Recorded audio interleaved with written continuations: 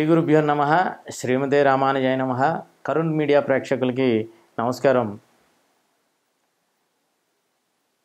వాస్తు విషయాల్లో మనం ఇంతకుముందు దిక్కులు అలాగే నియమాలు ఇలాంటి వాటి గురించి అసలు వాస్తుకు వస్తే అయితే వర్గులు అనేది కూడా చాలామంది అడుగుతూ ఉంటారు. అంటే మా పేరుకి ఏ స్థలం అయితే బాగుంటుంది లేకపోతే ఏ గృహం ఏ ఏ దిక్కులో గృహం తీసుకుంటే బాగుంటుంది అనేది.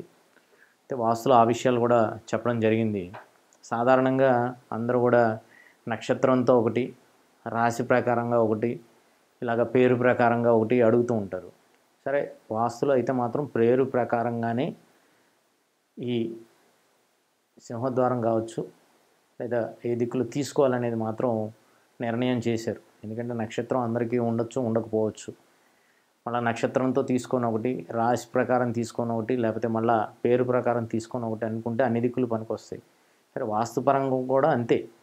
వాస్తవంగా గృహం బాగున్నప్పుడు ఏ దిక్కు ప్రకారంగా గృహం ఉన్నా కూడా అందులో ఉండొచ్చు. అందులో ఇబ్బంది ఏం లేదు. ఎందుకంటే మన పురాతన కాలంలో అంటే కాస్త పూర్వంలో ఓ యాభై ఏళ్ళ క్రితం కావచ్చు లేకపోతే అరవై ఏళ్ళ క్రితం కావచ్చు పెంకుటిండ్లకి అనేవి రెండే ద్వారాలు ఉండేవి. తూర్పు పడమర లేకపోతే ఉత్తర దక్షిణాలు. మిగతా వైపు అసలు ద్వారాలు ఉండేవి కాదు. గోడలే ఉండేవి. కానీ అందులో అందరూ అన్ని పేర్లు వాళ్ళు ఉండేవారు అన్ని నక్షత్రాల వాళ్ళు ఉండేవాళ్ళు. సరే ఇప్పుడు మనం కొద్దిగా ఎక్కువగా ఆలోచన చేసి ఈ పేరుకి ఇది పనిచేయదేమో ఈ నక్షత్రానికి ఇది పనిచేయదు పేరుకి పనిచేస్తుంది నక్షత్రానికి పనిచేయదు ఇట్లా అనవసరమైన కన్ఫ్యూజన్ లేకుండా పేరు ప్రకారం ఏ తీసుకోవచ్చు అనేది మాత్రం మీకు చెప్పడం జరుగుతుంది. అవర్గు అంటే ఆ నుంచి అమ్మహ వరకు ఏవైనా కావచ్చు అక్షరాలు వచ్చే వాళ్ళకి తూర్పు అనేది పనికొస్తుంది. అలాగే కవర్గు కక్క కగ్గ ఇలా ఈ వర్గు కవర్గు వాళ్ళకి ఆగ్నేయం. అయితే ఆగ్నేయం అనేది మనం డైరెక్ట్గా ద్వారం పెట్టుకోం కాబట్టి వారికి దక్షిణం కానీ అలాగే పడమర కానీ తూర్పు కొంత భాగం పనికొస్తుంది. అలాగే ఆ వర్గు కూడా తూర్పు కాస్త దక్షిణం. ఎందుకంటే ఎవరికైనా కానీ మూడు దిక్కులు అంటే ఒకటి స్వస్థానం కావచ్చు మూడోది కావచ్చు అలాగే ఏడోది. ఈ మూడు కూడా వారికి ఉపయోగపడతాయి.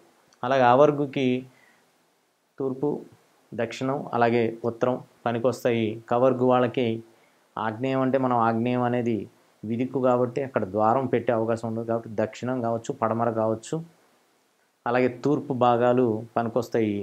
వీరికి ఉత్తరం అనేది వ్యతిరేక భావం అవుతుంది. అలాగే చవర్గు చవర్గు వాళ్ళకి దక్షిణం ప్రధానంగా ఉంటుంది. వీరికి ఏదైతే దక్షిణం ప్రధానంగా ఉన్నప్పుడు దానికి వ్యతిరేక భావం అంటే ఐదవది ఏదైతే ఉంటుందో అది వ్యతిరేకంగా ఉంటుంటే ఉత్తరం అనేది వ్యతిరేకంగా ఉంటుంది. మళ్ళా తూర్పు కానీ పడమర కానీ వీరికి పనికొస్తాయి. అలాగే టవర్గు టాటా డాడానా టవర్గు వాళ్ళకి నైరుతి భాగం ప్రధానంగా చూస్తుంది. అయితే నైరుతిలో మనం ద్వారం పెట్టం కాబట్టి దక్షిణం కానీ పడమర కానీ తూర్పు కానీ వీరికి పనికొస్తాయి. అలాగే తవర్గు తాత దాదానా వీరికి పడమర ప్రధానంగా ఉంటుంది. ఈ పడమర ఉన్న వాళ్ళకి తూర్పు వ్యతిరేకం అవుతుంది. ఐదో భావం కాబట్టి దక్షిణం కానీ కొంత మార్పు ఉత్తరం కానీ బాగుంటాయి. అలాగే పవర్గు పాప బాబా మా వీరికి వాయువ్య భాగం చూస్తుంది. అయితే వాయువ్యంలో ఇంతకుముందు చెప్పినప్పుడు విదిక్కుల్లో మనం ద్వారాలు కావచ్చు సింహద్వారం అనేది ఏర్పాటు చేయం కాబట్టి వీరికి పడమర కావచ్చు ఉత్తరం కావచ్చు అలాగే దక్షిణం కొంత భాగం వరకు అంటే ఒకటి మూడు ఏడు కింద తీసుకున్నప్పుడు ఈ మూడు కూడా పనికి వస్తాయి. అలాగే ఎవర్గు యా రా లావా ఇవి పొడక్షరాలు వీటితోనే ఎక్కువ పేర్లు ఉంటాయి. ఎందుకంటే వీటికి ఒత్తులు కూడా ఉంటాయి. కాబట్టి అంటే శ్రీనివాసరావు లేదా శ్యామల ఇలా అంటే యావర్ యాతో కావచ్చు వాతో కావచ్చు రాతో కావచ్చు ఇలా ఒత్తులు వచ్చే వాటి అన్ని పేర్లు కూడా ఈ వర్గులో ఉంటాయి కాబట్టి ఉత్తరం అనేది ఎక్కువ మందికి సరిపోతుంది. ఈ ఎవరికి వారికి ఉత్తరం ప్రధానంగా ఉంటుంది. తర్వాత తూర్పు తర్వాత పడమర.